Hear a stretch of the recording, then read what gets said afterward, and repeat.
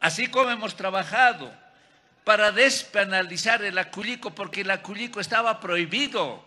Tenía que desaparecer nuestra hoja de coca, tenían que desaparecer los que aculican. Pero con nuestro proceso de cambio hemos empezado acciones para que nuestros pueblos puedan seguir aculicando, para que respete nuestra cultura, porque la hoja de coca es parte de nuestra cultura, está en nuestra constitución política del Estado plurinacional de Bolivia. Y hemos logrado, hemos logrado que la convención de 1961 pueda permitir que en Bolivia se pueda cultivar, se pueda comercializar y se pueda aculicar. Igual ahora hemos empezado con nuestro presidente Luis Arce para desclasificar y sabemos que vamos a lograr, vamos a lograr no solamente con la unidad del pueblo boliviano, sino con la unidad de todos los pueblos del mundo, hermanos. Es necesario hacer conocer al mundo sobre las cualidades alimenticias, espirituales, medicinales, terapéuticas que tiene nuestra sagrada hoja de coca. Nuestra sagrada hoja de coca no va a desaparecer. Tenemos que liberarlo a nuestra sagrada hoja de coca del narcotráfico, hermanos.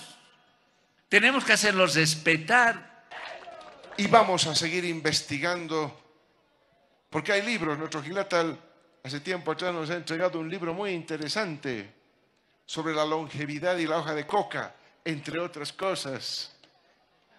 Estudios que se vienen haciendo de extranjeros, porque los más interesados, los que más investigan, son los extranjeros, hermanos, de nuestra hoja de coca. Y nosotros no nos podemos quedar atrás. Por eso nuestras dos plantas, la de Sacaba y la de los Yungas, va a tener su área de investigación, hermanas, hermanos de la hoja de coca, de las propiedades que tiene nuestra hoja de coca.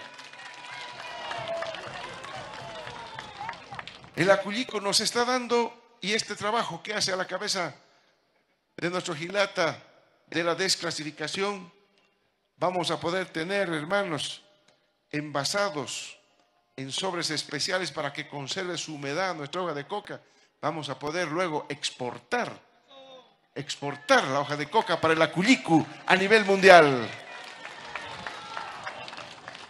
Es parte del proceso industrializador. Pero tenemos previamente, evidentemente, que lograr la desclasificación como estupefaciente para que nuestra hoja de coca pueda recorrer fronteras sin que no tenga ninguna traba de ninguna naturaleza. Entre tanto, nosotros nos vamos a dedicar a la culicu, nos vamos a dedicar a la industrialización de nuestra hoja de coca y a beneficiarnos todos los bolivianos de esa, potencial, de esas propiedades que tiene nuestra poderosa hoja de coca milenaria y de cultura de nuestros pueblos originarios de nuestro país.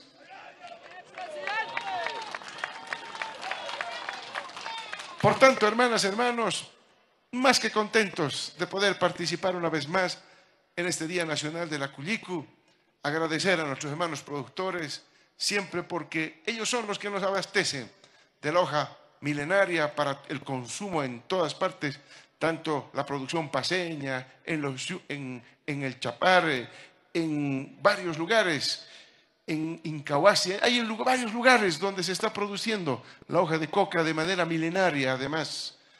Y esos son los productores que abastecen el consumo nacional para nuestro aculico y tendrán que abastecernos también, hermanas y hermanos, como materia prima para nuestros productos industrializados. Y estamos seguros que lo van a hacer y de esta manera también algo que preocupa a nuestros hermanos cocaleros, vamos a ir mejorando, que es a través de la industrialización, de la compra como materia prima, también el precio de la hoja de coca va a tener claramente una regulación y un control por parte de esta industria que va a estar en manos del Estado boliviano, hermanas hermanos.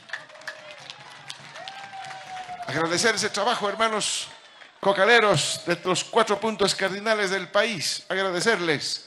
Sin ustedes no tendríamos esta hoja de coca que hoy por hoy y siempre nos seguirá siendo de mucha utilidad para nuestra salud, para nuestra mejora en la calidad de vida. Muchas gracias, hermanas, hermanos. ¡Ay, ay, ay! ¡La hoja de coca!